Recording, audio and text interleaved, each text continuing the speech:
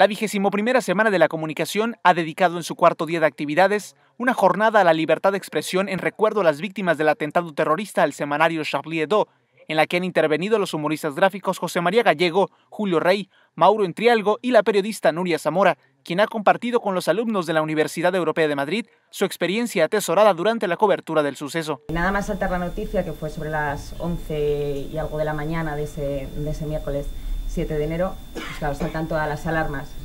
algo así no sucede ni sucede en un país vecino en el que está, que es un país democrático con ciertos valores y que se ha atacado la libertad y la libertad de expresión. José María Gallego, caricaturista del periódico El Mundo, ha cavilado sobre las causas del atentado que derivó en el fallecimiento de 11 miembros de la redacción del Charlie Hebdo. Considero que los terroristas no buscaban un ataque a la libertad de expresión. Es que eh, esa gente está en, es, está en, es como el Ministerio del Tiempo, la serie de televisión española, está en otra época. Y a mí me aterrorizaron, la verdad. O sea, yo es que no me lo creía. Hasta la tarde, cuando empezamos ya a trabajar en la tira, no acababa de creérmelo. Me parecía algo imposible. Su fiel escudero, amigo y compañero, Julio Rey, lamentó los hechos y ha reflexionado sobre la complejidad del oficio del periodista gráfico.